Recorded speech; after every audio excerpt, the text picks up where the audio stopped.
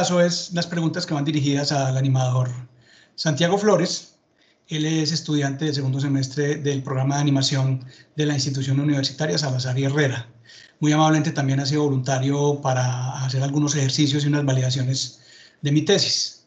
Entonces, eh, voy a empezar de una vez con la primera pregunta para ti, eh, Santiago. La primera pregunta es, ¿cuál es la reflexión personal sobre la experiencia para este trabajo? Eh, bueno, pues básicamente como fuentes de la creación, creo que es importante ayudar, ayudarnos entre todos como sociedad, ¿no? Independientemente de lo que hagamos. Entonces, creo que esa es mi reflexión personal, es, ser altruista y, y, ayudar cuando, cuando se pueda. es que es así, no hay, no hay de otra. Ser muy solidario. Y con respecto pues ya al trabajo, trabajo de, de, los, de las animaciones que has hecho, Creo que es, es algo fenomenal, o sea, es, es experiencia y son los, los retos que se van poniendo en el camino para, para poder afrontarlos. Creo que eso es un gran desafío que tenemos como seres humanos. Súper, muchas gracias, eh, Santi. Bueno, segunda pregunta. ¿Qué grado de dificultad significó la elaboración de las animaciones? Uf, como lo mencionaba antes, creo que son nuevos retos son nuevos retos y para uno como artista o animador, pues pensar como en todo este tipo de, de problemas y poder afrontarlos de esta manera pues tan artística. Entonces creo que sí es bastante difícil porque hay que pensar, no es solamente animar o dibujar por dibujar, no, hay, hay que pensar y entender lo que estamos haciendo para poder comunicar lo que queremos transmitir. Muy bien, bueno, tercera pregunta. ¿Cuáles son los beneficios que, le puede, que te pueden aportar eh, a tu trabajo de animación en general al hacer estas animaciones? Es una, una, pregunta muy, muy importante. Creo que es la versatilidad para uno adaptarse a los diferentes proyectos que se van presentando. Entonces, entre uno más versátil sea, pues la posibilidad de uno acoger más proyectos es, es mucho mayor.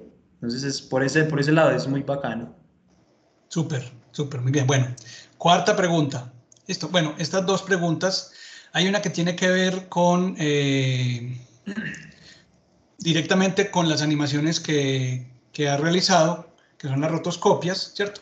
Entonces, y mencionó al, al autor que estoy, eh, con el que estoy trabajando en este tipo de, de validaciones. Entonces, la pregunta es, ¿cuál fue la experiencia en la creación de personajes a partir de los conceptos de las transferencias de Lecoq? Uf, es, es complejo, pero no imposible, porque pues de alguna manera tenemos que ponernos en ese papel de, de tratar de comunicar estas emociones o lo que queremos comunicar con el personaje, ¿no? Entonces, creo que es una experiencia muy llamativa, precisamente porque nos invita eh, a, a, reconocer todo esto que nos rodea de alguna manera. Entonces, la actuación es fundamental para esto. Muy bien, muy bien, bueno. Y la quinta pregunta es igual, pero te la hago con respecto al otro autor que se llama Stanislavski y tiene que ver ya no con las transferencias, sino con las, eh, las creaciones psicofísicas. De recordar las otras animaciones que hiciste en conjunto con Alejandro, las otras que me entregaste. Entonces, es lo mismo. ¿Cómo fue tu experiencia en la creación de los personajes a partir de los conceptos de las acciones psicofísicas de Stanislavski?